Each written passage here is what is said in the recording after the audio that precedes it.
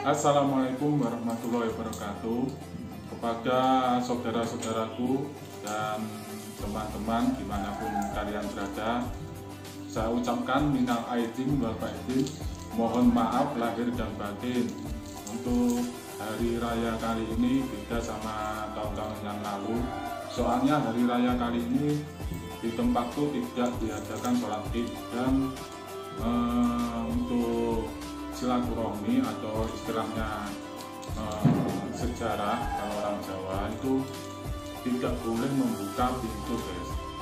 Dan ini dikarenakan status kota Madiun sendiri Kabupaten Madiun sendiri eh, statusnya zona merah.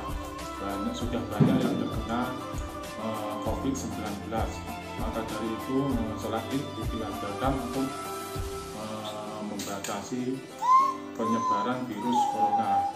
Sekali lagi untuk saudara-saudaraku dan teman-temanku di mana kalian berada, saya ucapkan minal aidin wal faizin. Mohon maaf lahir batin. Assalamualaikum warahmatullahi wabarakatuh.